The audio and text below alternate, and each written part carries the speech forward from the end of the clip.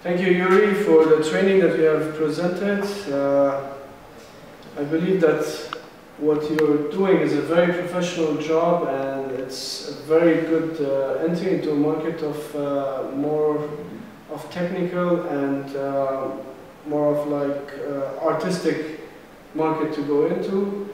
And your actual experience is very impressive that you are very well known, you know all about the products, the type of painting, the measurements of uh, all types of uh, polishing, lacquer, base paints, uh, handling of the objects. And like I've received this training and I'm very happy that I received it from such a professional person. Otherwise it would have been more prolonged to do a training with somebody who's half medium professional. But you, like, I could, I could even write a whole uh, comprehensive, uh, detailed uh, training schedule for myself to learn later on in case I need to do. Thank you very much.